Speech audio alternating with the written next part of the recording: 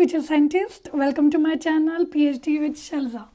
So, as so many students are asking me what is this funding means or what this fully funded PhD means. So, I will give you a brief descri- description about what this means. So, if you are applying for the US, then you don't have to worry about the funding. In US, every PhD is fully funded. So you just need to apply for the US and you will get funding automatically. But if I talk about the US or sorry, if I talk about the UK or Europe, then not this is not the case.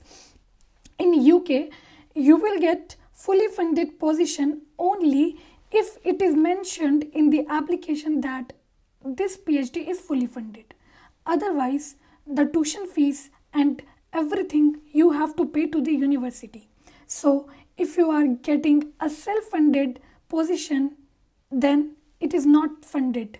It that means you will fund your PhD. And if it says that it is fully funded, that means they are going to fund you. Okay, this is what I have to say to you. And if you have any doubts, please let me know. Okay, then, bye bye.